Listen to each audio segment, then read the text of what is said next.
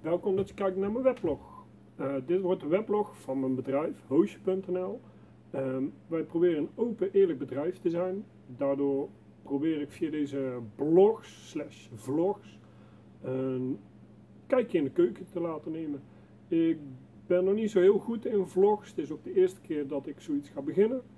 Um, ja, ik heb ook nog niet echt een idee hoe ik het helemaal ga aanpakken. We gaan gewoon wat vlogjes maken en ja, daarmee hoop ik wat uh, uh, open en eerlijker te zijn. Wie ik ben, wat ik doe en ja, hoe het bedrijf in elkaar zit. Ik probeer ook wat tips en tricks te geven. Um, mocht je nog ideeën hebben, uh, ja, mail het me naar nick.hoosje.nl.